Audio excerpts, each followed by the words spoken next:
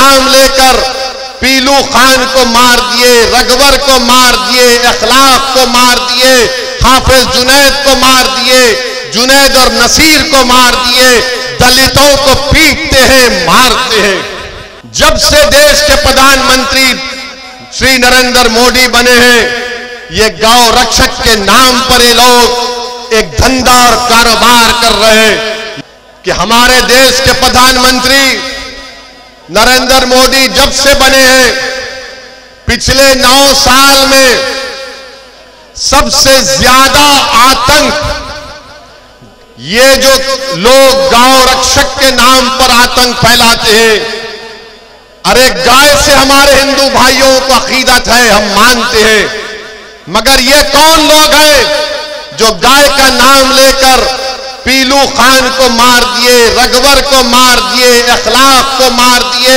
हाफिज जुनैद को मार दिए, जुनैद और नसीर को मार दिए, दलितों को पीटते हैं, मारते हैं। जब से देश के प्रधानमंत्री श्री नरेंद्र मोदी बने हैं, ये गौ रक्षक के नाम पर ये लोग एक धंधा और कारोबार कर रहे हैं। ये मैं नहीं कह रहा हूँ बल्कि एक बहुत मशहूर हिंदी का चैनल है आज तक।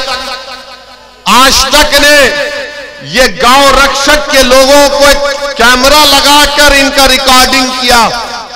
हरियाणा की पुलिस के साथ इंटरव्यू किया। वो खुलकर कह रहे हैं उसमें कि हम पैसे लेते हैं जानवर की गाड़ी पर। हम पीटते हैं इन लोगों को। और पुलिस कह रही है उस वीडियो में कि हम आँख बंद कर लेते हैं, हम कुछ नहीं करते। आप बताइए, फिर ये आतंक नहीं है तो क्या है? इनको रोक टोक लगाने की ज़रूरत है। आप भारत के प्रधानमंत्री इनके बारे में कुछ बोलते नहीं है।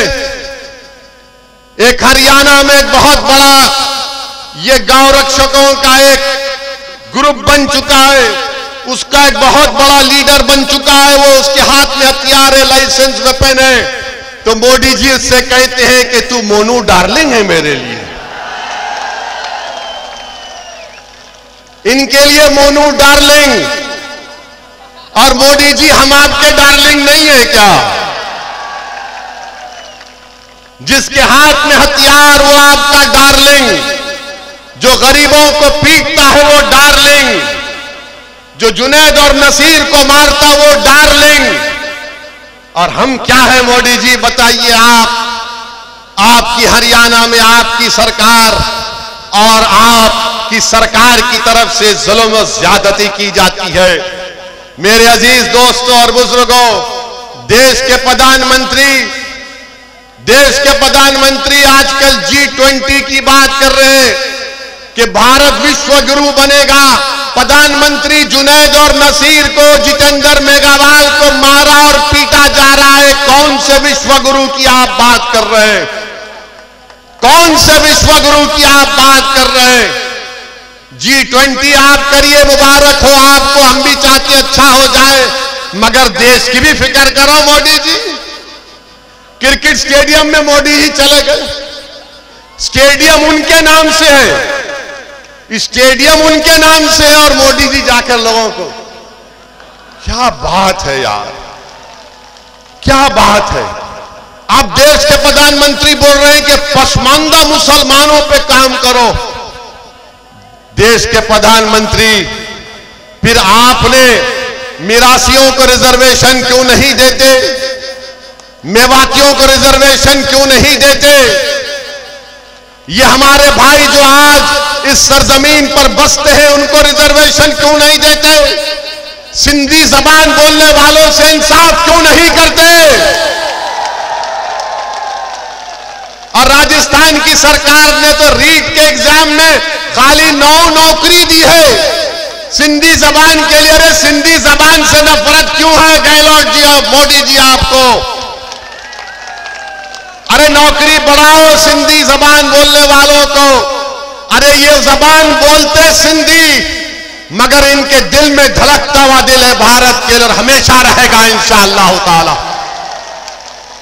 तो मेरे अज़ीज़ दोस्तों और बुज़ुर्गों, मैं आखिर में आपसे अपील कर रहा हूँ कि बीजेपी इस देश को हमेशा के लिए, बीजेपी इस देश में अंबेडकर के बना हुए संविधान को खत्म करना चाहती है। बीजेपी नरेंद्र मोदी अंबेडकर के बना हुए संविधान को कमज़ोर करके रखना चाहती है। आरएसएस तो शुरू से अंबेडकर के संविधान को नहीं मानती थी। इनके ऑर्गेनाइजर किताब निकाल कर अब मैं देख लो, आप मैगजीन में क्या कहा था, गोलवालकर ने क्या कहा था कि अंबेडकर का संविधान नहीं, मनुस्मृति को मानने वाले हैं। इनको उस जमाने से भारत के संविधान से नफरत थी और रहे